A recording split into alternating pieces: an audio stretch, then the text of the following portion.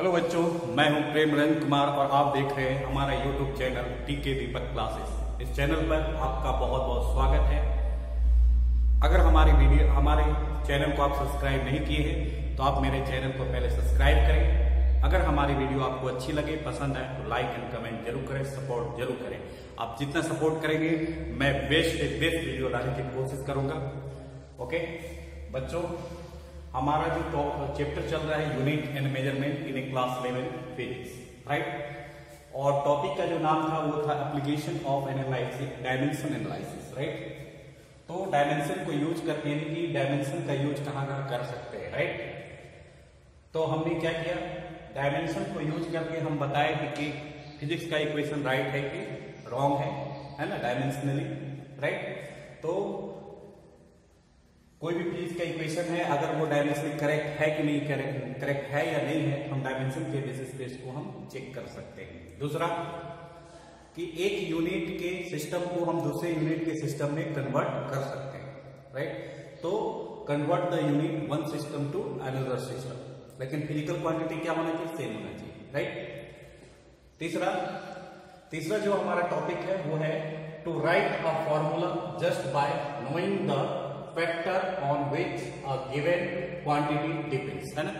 Third जो है dimension analysis का जो यूज़ हो रहा है थर्ड पॉइंट में, वो ये है कि हम किसी, हम फिजिक्स का किसी भी इक्वेशन को नहीं, है ना? हम फिजिक्स कुछ फिजिक्स के इक्वेशन है जिसको हम डेराइव कर सकते हैं with use of dimension analysis है ना? उसके लिए हमको दिया हुआ क्या रहना चाहिए? जिस क्वांटिटी का हमको फॉर्मूला निकालना है, वो क्वांटिटी किस पे डिपेंड है, वो हमको मालूम होना चाहिए।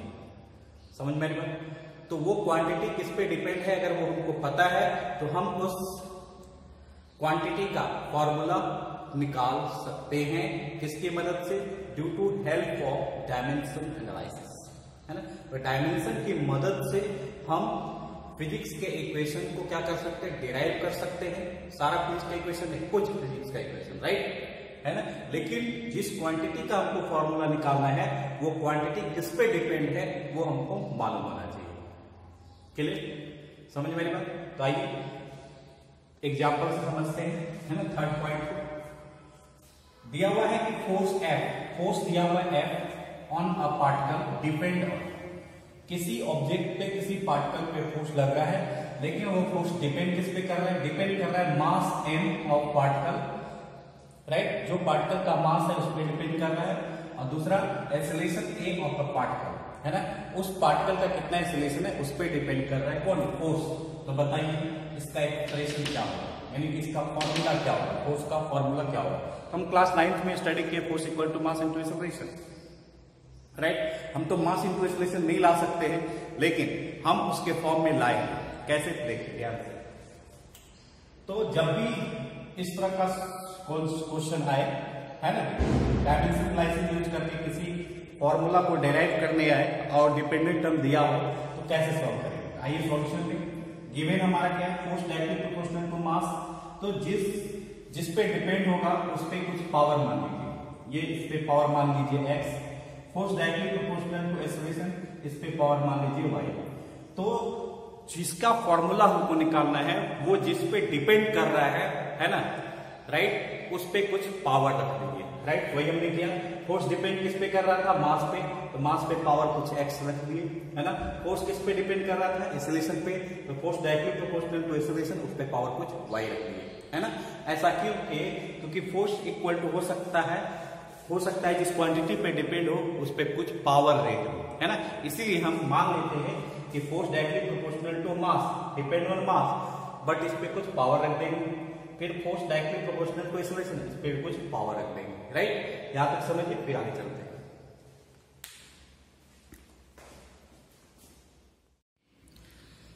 तो बच्चों, हमने देखा कि फोर्स जिसका फॉर्मूला हमको डिराइव है, वो किस पे डिपेंड कर रहा है, जिस पे डिपेंड करेगा, उस पर कुछ पावर रख देंगे। मास पे डिपेंड कर रहा था फोर्स एंड एक्सेलरेशन पे डिपेंड कर रहा था फोर्स लिख दी इक्वेशन फ़र्स्ट एंड सेकेंड दोनों को कंबाइन करो। Combine the equation first and second. Combine कीजिए तो फोर्स इक्वल टू क्या होगा? डायरेक्टली प्रोपोर्शनल टू एम पे पावर एक्स एम एक्सेलरेशन पे पावर वाई प्रोपोर्शनल साइन हटाइए। तो क्या लिखेंगे? कुछ कांस्टेंट लिखेंगे। और ये कांस्टेंट हमेशा क्या होना चाहिए? डायमेंशनली लेस होना चाहिए। है ना?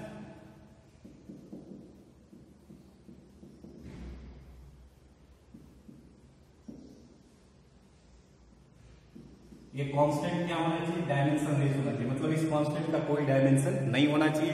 तभी हम फॉर्मूला डेराइव कर सकते हैं, है ना? तो कुछ लिमिटेशन है डायमेंशनल लाइसेंस का राइट तो लास्ट पॉइंट लिखा देंगे, कैसे, क्या क्या लिमिटेशन है। ना जी? तो के जो हमारा जो प्रोपोर्शनल सेंटेंट आए है, उसके बदले में जो कांस्टेंट रखे, वो कांस्टेंट हमेशा क्या होना चाहिए? डायमेंशनली डायमेंशन लेस कांस्टेंट होना चाहिए। कोई कांस्टेंट का कोई डायमेंशन नहीं होना चाहिए राइट चलिए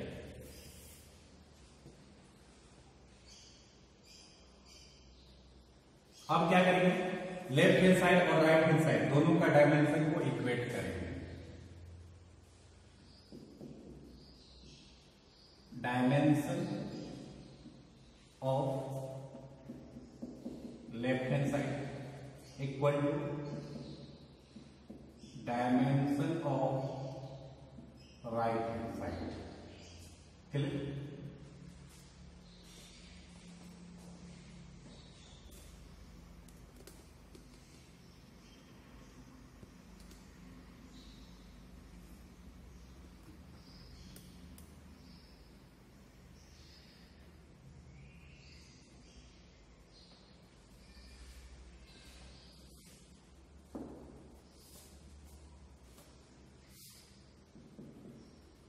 dimension of left hand side. Dimension of right hand side. होना चाहिए राइट क्लियर तो जो चीज़ इस पे डिपेंड है, हमने डिफाइन कर दिया force directly proportional to mass उस पे पावर कुछ ले लेंगे। और force directly proportional to acceleration उस पे पावर ले लेंगे, दोनों को कंबाइन करेंगे, है ना? This is first step this is second step है ना? दिस इज़ थर्ड स्टेप है ना? अब थर्ड स्टेप में क्या करेंगे? डायमेंशन लेफ़्ट हैंड साइड और डायमेंशन राइट हैंड साइड दोनों को इक्वेट करेंगे। चलिए। Dimension of left hand side क्या है? तो फोर्स है। फोर्स का डायमेंशन क्या होता है? एम एल टी पे पावर माइनस टू लिख लीजिए ये क्या है? कांस्टेंट है। कांस्टेंट का कोई भी डायमेंशन नहीं होता है तो इसलिए डायमेंशन है तो बचा क्या? एम एम क्या है? मास मास का डायमेंशन क्या होता है? कैपिटल एम और इस पे पावर क्या हो जाएगा? एक्स ये क्या है? एसोलेशन एसोलेशन का डायमेंशन क्या होता है? एल टी पे पावर माइनस टू और इस पे पावर वाई है ना? अब एम एल टी इधर भी एम एल टी सेपरेट कर लेंगे, फिर इक्वेट कर लेंगे राइट तो इसको सेपरेट कीजिए एम पे पावर वन एल पे पावर वन एंड टी पे power minus two equal to क्या करेंगे? इधर भी सेपरेट करेंगे। एम पे पावर एक्स एल पे पावर वाई एंड डी पे power minus two Y clear यहाँ तक क्लियर ओके अब क्या करेंगे? इक्वेटिंग क्लियर इक्वेटिंग कैसे करते हैं? तो जो टर्म लेफ़्ट हैंड साइड हो, वही टर्म राइट हैंड साइड हो, है ना? तब इक्वेट करते हैं राइट तो यहाँ पे पावर को इक्वेट करेंगे, है ना? एम के पावर को एम के साथ इक्वेट करेंगे एल के पावर को एल के साथ इक्वेट करेंगे और टी के पावर को टी के साथ इक्वेट करेंगे, है ना? तो लेफ़्ट हैंड साइड या राइट हैंड साइड जो भी दो, दोनों क्वांटिटी क्या होना चाहिए सेम तब उसके पावर को हम क्या करते हैं? इक्वेट करते हैं। इक्वेटिंग करते हैं। एम पे पावर कितना है वन और एम पे पावर कितना है एक्स एम को एम के साथ इक्वेट करो एक्स इक्वल टू क्या आएगा? वन है ना? एम को एम के साथ इक्वेट करो तो एक्स इक्वल टू क्या आएगा? वन एल को एल के साथ इक्वेट करो एल का वैल्यू वाई का वैल्यू कितना आएगा? वन एल पे पावर वन इधर एल पे पावर वाई तो एल एल कॉमन तो वाई इक्वल टू क्या हो जाएगा? वन टी को टी के साथ इक्वेट करो, यहाँ माइनस टू इधर माइनस टू वाई तो क्या लिखेंगे? माइनस टू यानी कि minus two Y equal to minus two right कोई दिक्कत?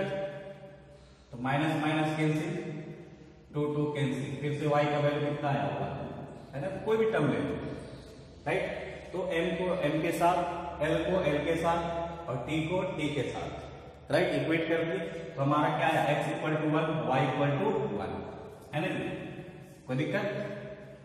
तो इस तरह से हमारा वैल्यू निकला X equal to one Y equal to one तो इस तरह से हम कर सकते हैं कि यहाँ जो फोर्स का जो वैल्यू आया, वो क्या है? कि एम पे पावर ये एक्स है एक्स का वैल्यू कितना आया? वन ए पे पावर वाई है वाई का वैल्यू कितना आया? वन तो इसका फॉर्मूला हो गया के एम ए है ना?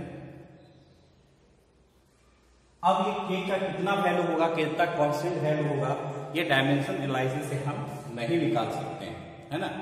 राइट ऐसे फोर्स का फॉर्मूला क्या होता है? मास इनटू एक्सेलरेशन मतलब के का वैल्यू क्या होता है? वन तो के का वैल्यू वन एक्सपेरिमेंटली प्रूव किया गया है राइट ये डायमेंशन से हम के का वैल्यू वन नहीं निकाल सकते थे। किसी भी कॉन्स्टेंट का वैल्यू डायमेंशन को यूज़ करके नहीं निकाल सकते, है ना? तो एक्सपेरिमेंटली देखा गया जब एक्सपेरिमेंटली किया गया तो के का वैल्यू क्या निकला? वन राइट और फोर्स इक्वल टू क्या है? मास इंटू क्लियर तो देखो फिर से समझो। जो टर्म दिया हुआ था जिसपे डिपेंड कर रहा था, जो इसका फॉर्मूला निकालना था, वो डिपेंड कर रहा मास पे तो उसपे पावर एक्स रख दिए। और ये फोर्स डिपेंड कर रहा था किस पे सिलेक्शन पे? पावर वाई जिस पे डिपेंड करेगा, उस पे पावर रख दो। Step number first step number second दोनों को कंबाइन करो। कंबाइन करने के बाद ये आएगा क्वेश्चन हटाओ तो उसके बदले में क्या होना चाहिए? डायमेंशन लेस कॉन्स्टेंट होना चाहिए। अगर डायमेंशन लेस कॉन्स्टेंट नहीं होगा तो हम उसका फॉर्मूला डिराइव नहीं कर सकते।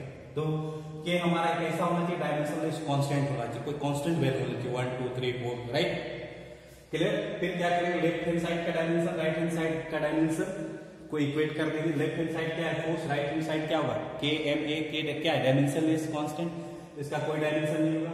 एम और ए का डायमेंशन होगा। एम और ए का डायमेंशन फिर क्या किए एम एल टी को अलग कर लिए, इधर भी एम एल टी को अलग कर लिए, फिर उसके बाद एम को एम के साथ इक्वेट एल को एल के साथ टी को टी के साथ इक्वेट किए X equal to one Y equal to one आया।